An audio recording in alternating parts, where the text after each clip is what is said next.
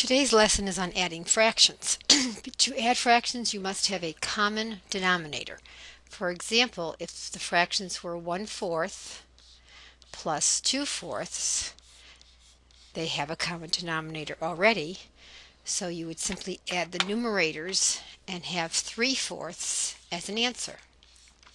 However, if the denominators are different, as in 1 fourth plus 1 third, you need to find a common denominator. The common denominator is the least common multiple of the denominators. The least common multiple of 4 and 3 is 12.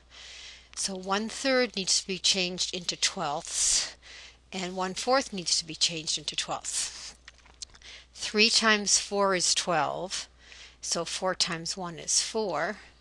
4 times 3 is 12, so 3 times 1 is 3. Now they both have a common denominator, and 3 twelfths plus 4 twelfths is 7 twelfths.